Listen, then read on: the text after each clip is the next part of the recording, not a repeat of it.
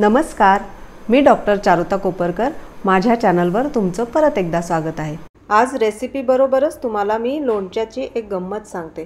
ताटात डाव्या बाजूला आपण जे लोणचं घेतो ना त्यांनी नुसती जेवणाची चवच नाही वाढत बरं का? तर ह्याच्यामध्ये प्रोबायोटिक्स नावाचे चांगले बॅक्टेरियाज असतात आणि भरपूर अँटीऑक्सिडंट्स आणि विटॅमिन सी पण असतं. तसंच लोणचं बघितलं की तोंडाला जे पाणी सुटतं त्यामुळे भूक वाढते जेवण चांगलं जातं आणि आपलं पचनही सुधारतं. लोणच्याची जागा ताटाच्या डाव्या बाजूला असल्यामुळे हे बेतानीच खायचं आणि तुम्हाला जर ब्लड प्रेशर असेल तर हे टाळलेलंच बरं. तर आजची रेसिपी आहे दहा मिनिटात कुकरमध्ये झटपट तयार होणारं उपवासाचं चटकदार आंबट गोड लिंबाचं लोणचं. तर माझ्या चॅनलला सबस्क्राईब करायला विसरू नका आणि हो बेल आयकॉनही दाबा म्हणजे ज्या ज्या वेळी मी अशा छान छान रेसिपीज पोस्ट करीन तुम्हाला त्याचं लगेच नोटिफिकेशन मिळेल. ही माझ्या घरच्या झाडाची भरपूर लिंब येतात.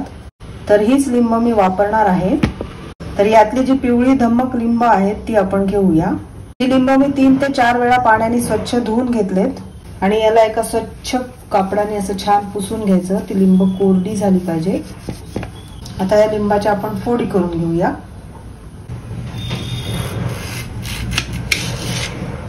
माझे घरचे जे लिंब आहेत त्याच्यामध्ये अजिबात बिया नाही आहेत. ही सीडलेस लिंब आहेत. सगळ्या लिंबांच्या अशा छान फोडी करून घेऊया आपण आणि लिंब मी पुसून घेते आता या सगळ्या साधारण दहा लिंब आहेत. या दहा लिंबाच्या मी अशा फोडी करून घेतल्या. आता कुकरमध्ये बसेल असं उंच भांड घ्यायचंय आपल्याला. त्याच्यामध्ये या फोडी घालायच्या.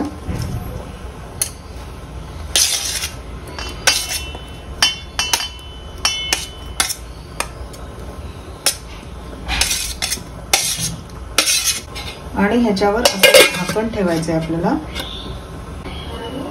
कुकरमध्ये एक ग्लासभर पाणी घालायचं आहे पाणी थोडंच घालायचं नाही तर ते उकळल्यावर लिंबात जायची शक्यता असते म्हणून थोडंसं पाणी घालायचं ग्लासभर. त्याच्यामध्ये हे भांड ठेवायचं. आणि कुकरची शिट्टी लावायची आहे गॅस मिडियम ठेवायचा आहे आणि ह्याच्या चार पाच शिट्ट्या करून आपल्याला ही लिंब उकडून घ्यायची आहेत. आता लिंब उकडतायत तोपर्यंत मी इकडे एक बाटली घेतली आहे जी स्वच्छ धुवून घेतली आहे आणि त्याला गरम पाण्यामध्ये मी दहा मिनिटं उकळवणार आहे. म्हणजे ह्याच्यामध्ये ठेवलेलं जे लोणचं आहे ते वर्षभर टिकेल. थोड्या थोड्या वेळाने ही बाटली अशी फिरवायची. म्हणजे ती छान तयार होते.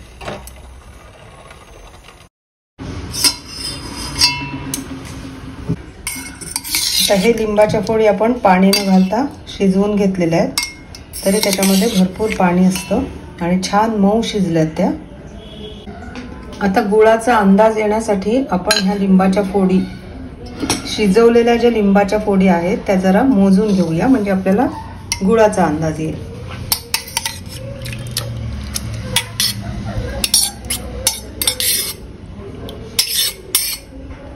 आता ह्या एक वाटी फोडी आहेत.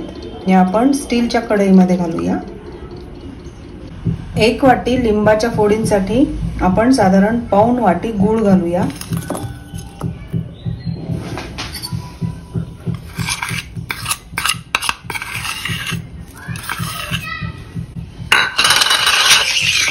आणि हे आता छान असं मिक्स करून घ्यायचंय तुम्हाला जर हे लिंबू लोणचं गोड आवडत असेल तर तुम्ही एकाच एक प्रमाण ठेवलं तरी चालेल. याच्यामध्ये आपण पोह्याचे जे चमचे असतात तसे तीन चमचे मीठ घालायचे. आणि याच चमच्याने आपल्याला तिखट मोजायचंय तर आपण तीन चमचे तिखट घालूया.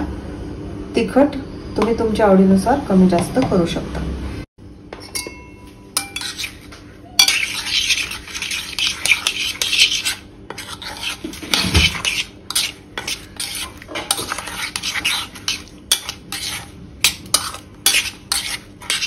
आता आपण याच्यामध्ये गूळ घातलाय तर हे टिकण्यासाठी आपण ह्याला एक चटका देणार आहोत.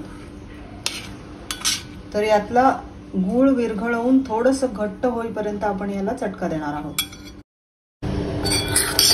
आता गॅस बारीक ठेवलाय मी आणि याला आपण असं ढवळत राहायचं सारखं. हे लोणचं एवढं रसरशीत आणि आकर्षक दिसतंय. आत्ताच तोंडाला पाणी सुटतं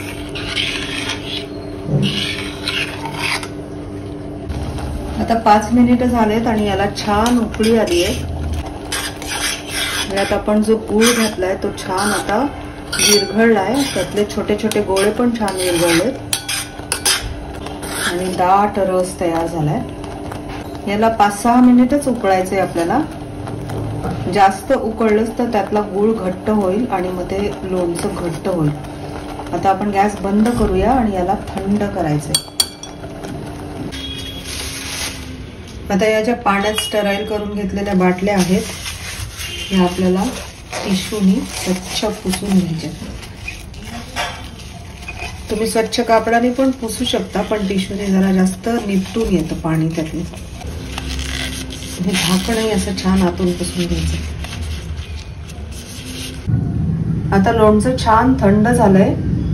हे आपण या स्टराईल केलेल्या बाटलीमध्ये भरून ठेवू. हे छान वर्षभर टिकतं. पण हे अगदी इन्स्टंटली आणि पंधरा मिनिटात होत असल्यामुळे तुम्ही थोडं थोडं केलं तरी चालतं. कारण काही ठिकाणी दमट हवा असते तर मग ते खराब व्हायची शक्यता असते. हे चटकदार आंबट गोड लिंबाचं लोणचं बघून तुमच्याही तोंडाला नक्कीच पाणी सुटलं असेल चला मग पटकन हे लोणचं करून बघा आणि तुमच्या प्रतिक्रिया मला कळवायला विसरू नका. आणि हो माझ्या चॅनलला सबस्क्राईब करा आणि बेल आयकॉनही दाबा. भेटूया पुढच्या भागात. थँक्यू.